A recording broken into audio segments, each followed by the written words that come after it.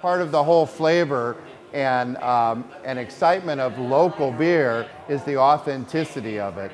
So what in the world could be more authentic than a brewery from the 1860s in a city that's only been around since 1836?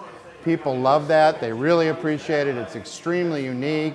An old uh, church built in the 1860s. It fit what we want to do with the brand and image, and the rest is history. They're um, enjoying all the different rehab efforts that we've made to using the actual remaining altar from 1945 to the lectern itself. And that's spectacular. People appreciate it.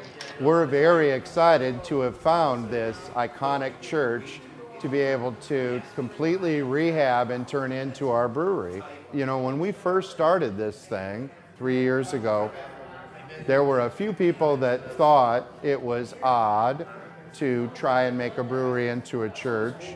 And I think that we've won those people over and we've made it something that so many more people could enjoy for the next hundred years.